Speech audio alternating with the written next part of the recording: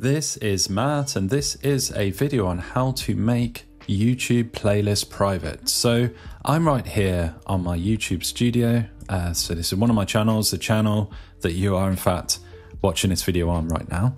So in order to actually make a playlist private, we need to change the privacy settings or uh, privacy if you're in the US. So we're in content, the content section right here on YouTube Studio. And I need to come over to the playlist tab here. So we've got the playlist tab.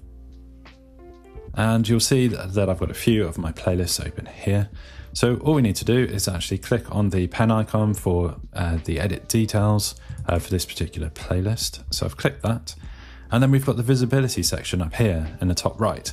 So all we need to do is click this and we can literally change to private or unlisted. So by default, all of your playlists are public unless you set them otherwise when you create them.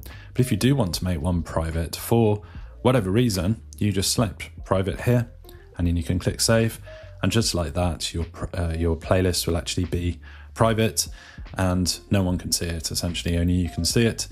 Uh, and if you wanted to make it unlisted, it would be publicly available, but it won't show on your channel, and you'd have to actually send someone the URL in order for them to actually find that playlist.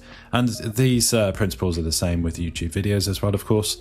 Uh, so, yeah, hopefully you found this video on making a YouTube playlist private useful.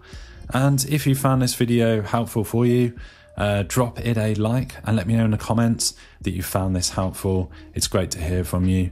And also, for more great videos like this, subscribe to the channel.